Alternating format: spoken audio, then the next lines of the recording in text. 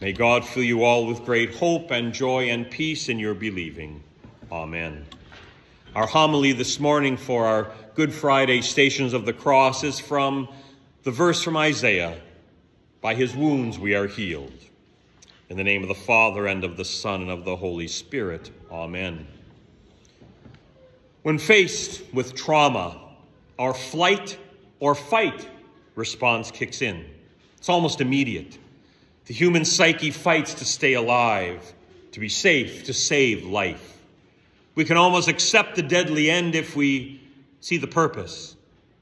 How often, when we hear of a young person dying, oh, they had so much more life to live why? It just doesn't make sense. On Good Friday, the Lord of all living succumbs to death. He who keeps a sparrow protected when falling to the ground doesn't protect himself. Jesus does not murder, but he is killed. Jesus does not engage in violence, but violence is driven against him. Jesus has shown anger, but he never encourages others to use anger for harming anyone even those against us. Indeed, in Jesus' final ministry upon the cross, he calls for his Father in heaven to forgive them. Jesus actually broadens the commandment against murder. His Sermon on the Mount speaks of how anger against a brother or sister makes us liable to judgment. Insulting a brother or sister makes us liable to the court, and saying, You fool, makes us liable to the hell of fire. All of that within his word of encouragement that we reconcile with those who condemn us. Jesus nailed to a cross is a mission of love. All of his followers, including we ourselves, recognize this and trust him as the Lord of love, and how deeply we need that love because we do get angry and insulting and speak and think mean spirited words about our brothers and sisters. And if we don't say it, we imagine it and maybe even carry it locked away where we think no one can see it. And if you think otherwise, consider this the next time someone cuts you off on the highway. All of humanity is, by virtue of the Creator's creation, brother and sisters. That Creator's creation also includes the very environment of our planet, the rocks beneath our feet. And there are also the brothers and sisters we have by faith who are part of the community we call the church. And our calling involves great work in maintaining that bond of love with all of these. Indeed, the task is one that overwhelms all of us at times. How do we reconcile? A high priest Caiaphas figured it out. Just let one die that peace may prevail. It sounds so logical, so practical when Make, why make everyone miserable? Let one take the hit for the team. Caiaphas's peace is only political. In view of the Middle East today, with what seems an endless war between Israel and Gaza, just political peace would be a major accomplishment. But the divine call of Jesus is embracing the life of that one who is, as Prince, achieves real peace, lasting forever and growing in overwhelming ways that even Caiaphas never even considered.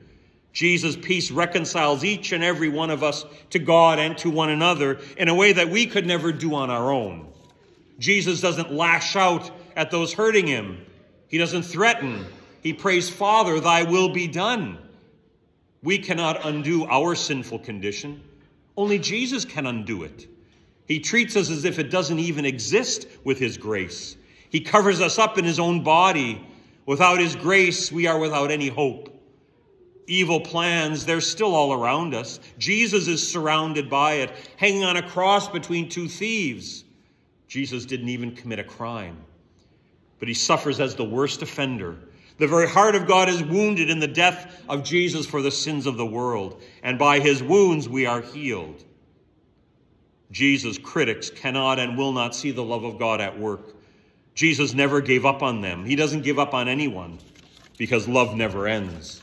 And again, that's that agape, that sacrificing, that kind of love that is there till the end. We are never abandoned, even though Jesus is abandoned on the cross. The wounds of Jesus, the wounds of his death, are covering his body so that murder and death do not receive the last word. Love, reconciliation, everlasting peace, those have the last word. The phrase is entitled Given at Him at His birth, come to life at His death. We see the world and all of humanity now through the lens, the crosshairs of the cross, if you will. God's healing through Christ frees our hearts and our lives from judgment. We are no longer sinful criminals with whom Jesus associated with even in death. We are forgiven children of the Heavenly Father, graced deeply and daily by his care. His wounds will always give healing. His wounds give our own wounded lives purpose.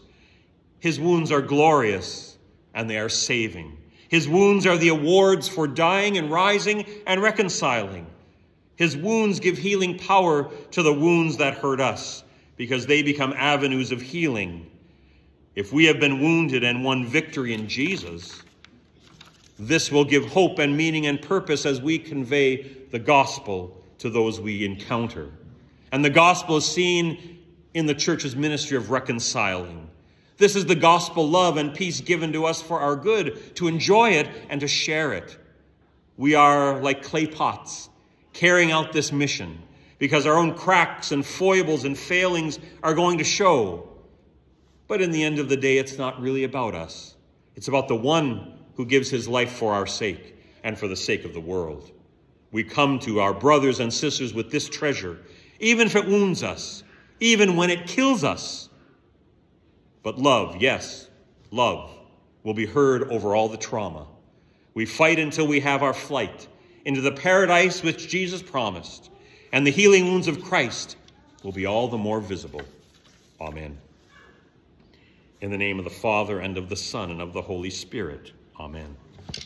And now may the peace of God, which goes beyond our human understanding, guard your hearts and lives in the one true faith in Jesus Christ, now and always.